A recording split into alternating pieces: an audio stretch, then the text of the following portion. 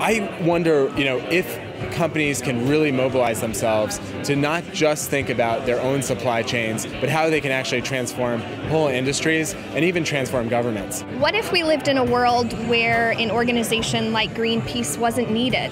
If businesses already did what was right for the environment? What if we could inspire those world leaders in the future in 10, 15, 20 years' time? What if we could inspire them to make a difference? What if we stopped focusing so much on the bad and we focused more on the good that companies are doing? What if everyone can take what they learned at the conference and um, take one step to make a more sustainable life and then share their step with someone else and challenge them to take a step. What if companies actually did it? The power of us all uniting and coming together to start getting engaged for the greater environmental good or the social good is we can't even imagine the power we have and what we can accomplish together.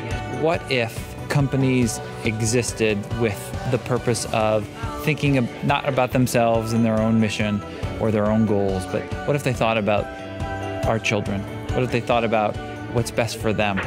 What if we did it in a selfless fashion? What would happen then?